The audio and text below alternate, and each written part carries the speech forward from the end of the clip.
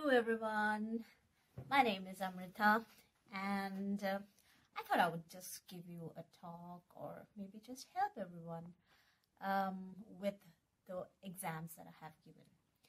So I recently passed the MFD exam conducted by the Royal College of Surgeons Ireland and um, I attended this exam in Dublin. I must say it was a very good experience um, for the fact that the exam was very well organized and um, it definitely um, I'm sure this I'm sure this video is going to help all those people who are aiming for the RCS Ireland exam.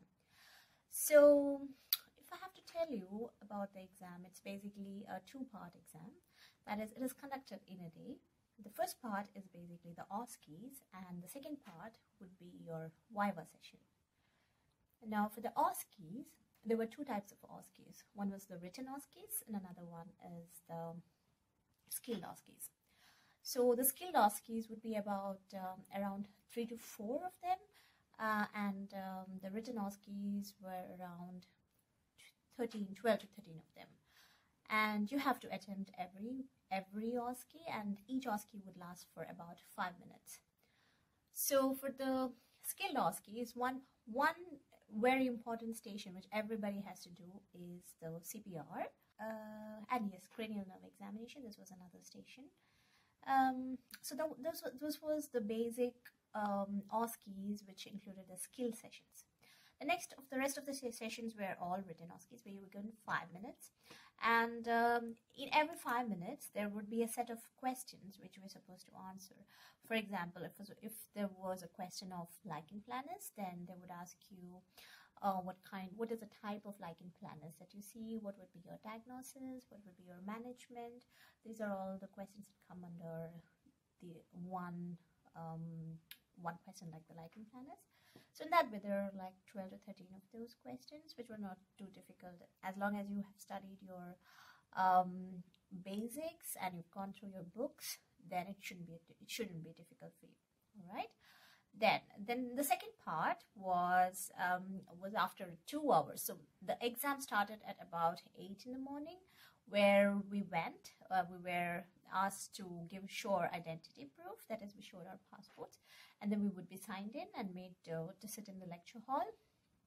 After which we would be taken to the hall where the exam was conducted, and um, each of us were given obviously the numbers which was previously assigned to you before you gave your exam. We went into the hall and they showed us our individual respective spots where we would, we, we would start the exams.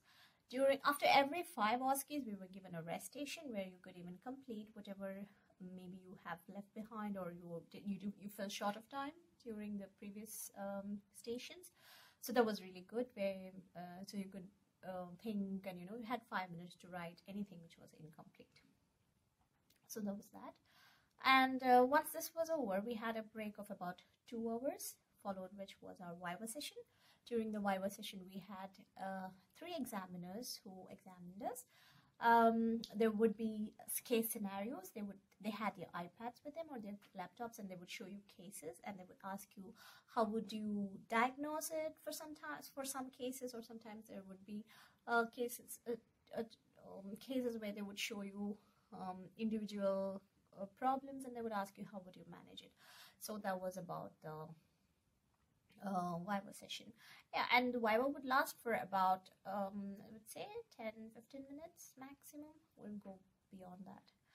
And yeah, that, that was that was my experience. Mean, yeah, guys, Dublin is a very beautiful city. I loved it. We had a lot of fun.